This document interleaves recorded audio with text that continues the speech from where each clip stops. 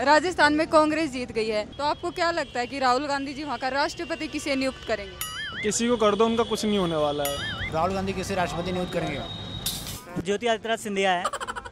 यही ऑप्शन है। हाँ नोबिता नोबिता उसकी शक्ल भी मिलती है राहुल गांधी से। एमपी में बीजेपी हार गई है।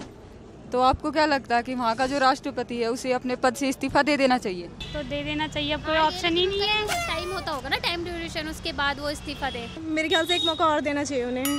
मेरे भी ख्याल से एक मौका और देना चाहिए। आ, तक उन्हें लड़ना चाहिए। एमपी का राष्ट्रपति पता है आपको कौन है? नहीं। यूपी का? यूपी का आई थिंक लालू यादव। दिल्ली का राष्ट्रपति कौन है अभी? ये आपका क्या कहते भूल गया। गूगल मार के बताती हूँ यूपी?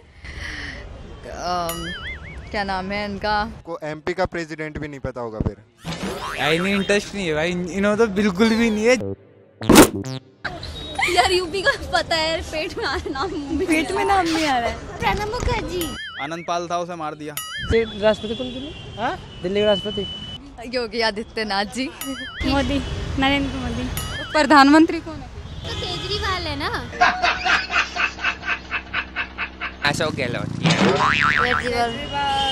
वो जो क्या बोलते हैं उसको केजरीवाल को? मैंने तो चुनाव में नाम ही नहीं सुना केजरीवाल का। भगवान माफ़ नहीं करेगा आपको। दिल्ली का प्रधानमंत्री कौन है?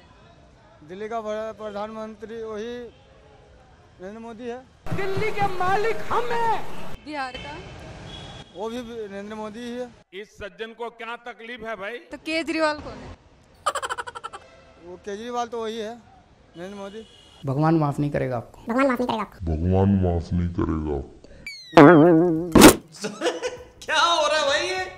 मार्केट में हो क्या रहा है? ईवीएम की जगह पेटीएम एमपी का राष्ट्रपति? लकड़ी की सीट?